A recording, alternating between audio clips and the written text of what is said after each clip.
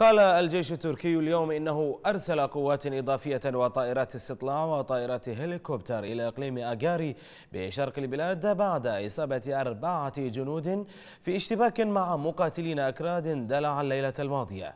وكانت أنقرة اتفقت مع حزب العمال الكردستاني الذي يطالب بمنح الأكراد المزيد من الحكم الذاتي قبل عامين على وقف إطلاق النار لكن عملية السلام الهشة تداعت قبل الانتخابات البرلمانية التركية المقررة في يونيو المقبل.